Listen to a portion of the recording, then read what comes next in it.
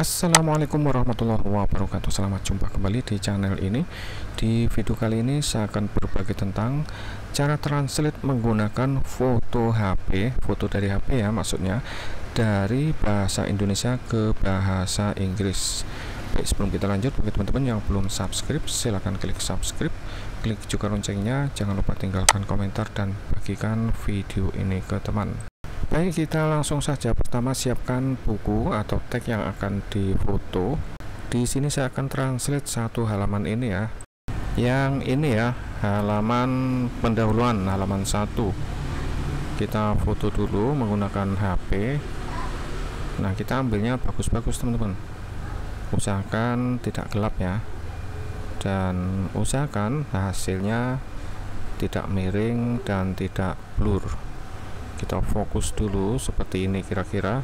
Ini HP-nya HP murah teman-teman. Oke sudah jebret. Dan hasilnya seperti ini. Hasil fotonya tidak begitu terang ya teman-teman. Maklum kita pakai HP murah. Yang penting tidak miring-miring dan tidak melengkung ya. Tapi semoga saja nanti hasil translate-nya bisa maksimal. Jika akan ditranslate menggunakan komputer berarti file fotonya harus dipindahkan ke komputer ya baik ini saya sudah pindahkan ke komputer. Sekarang kita lihat dulu ya hasil fotonya. Nah hasil fotonya seperti ini teman-teman. Lumayan terang. Oke kita tutup dulu. Yang penting tidak melengkung ya. Dan selanjutnya kita buka browser. Di sini saya gunakan Google Chrome. Kemudian kita ketik di sini Google Translate enter. Kita buka dulu Google Translate. Lanjut kita pilih atau kita tentukan bahasa. Ini Indonesia yang ini Inggris. Lanjut klik gambar. Nah di bagian sini ada tulisan tarik lalu lepas. Kemudian di sini ada atau pilih file temukan file Anda tempel dari papan klip. Jika teman-teman menggunakan cara yang sebelah sini teman-teman berarti harus gunakan cara yang termudah. Ini kita kecilkan seperti ini. Kemudian folder tempat penyimpanan gambarnya teman-teman buat seperti ini. Nah jadikan mudah.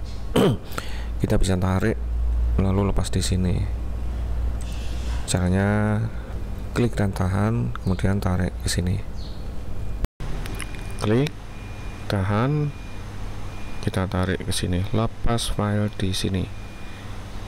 Kita lepas ting kita tunggu prosesnya. Menerjemahkan. Oke, file foto sudah berhasil diterjemahkan.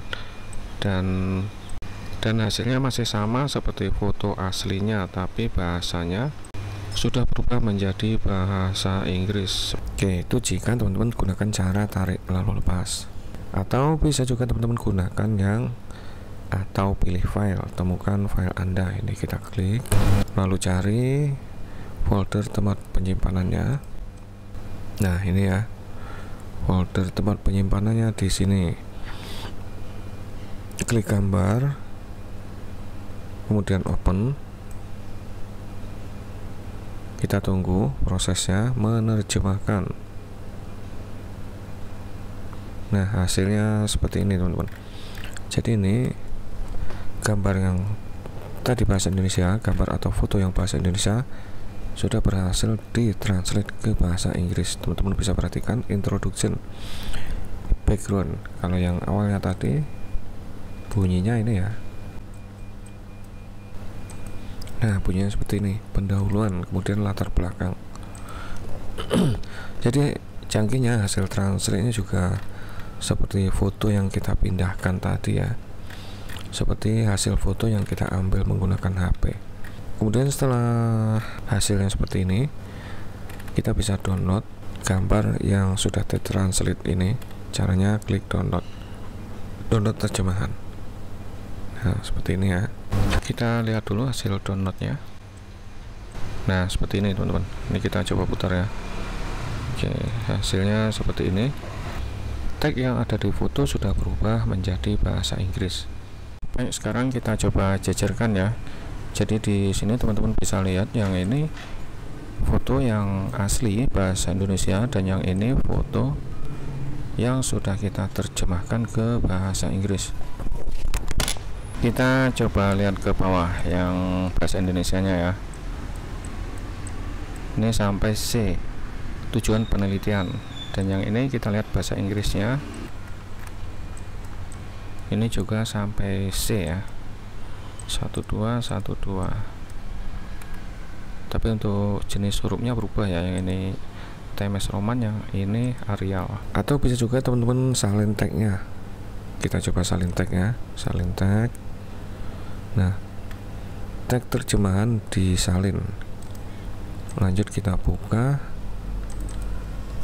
Microsoft Word. Oke lalu kita paste hasil copy dari halaman Google Translate tadi. Klik kanan paste. Atau bisa juga langsung klik paste di sini. Nah kemudian kita atur kita bisa ganti fontnya ganti ukuran terus kita atur lagi formatnya nah seperti ini ya oke demikian video ini semoga bermanfaat dan dapat membantu. Mohon maaf atas segala kekurangan. Wassalamualaikum warahmatullahi wabarakatuh.